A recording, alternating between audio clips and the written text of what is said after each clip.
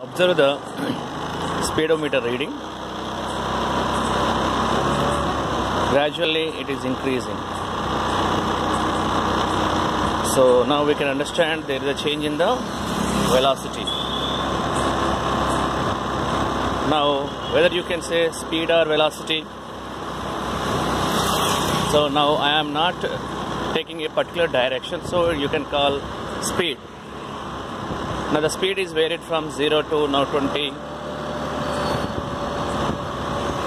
Now if you observe here, the speed is maintained 20 km per hour. So I am moving with constant speed. Here there is no acceleration. Now if I accelerate further, there is a variation in the speed. So when there is change in the speed with respect to time, you can say the vehicle is possessed with acceleration. Now I am decreasing the speed, so there is a change. You see here,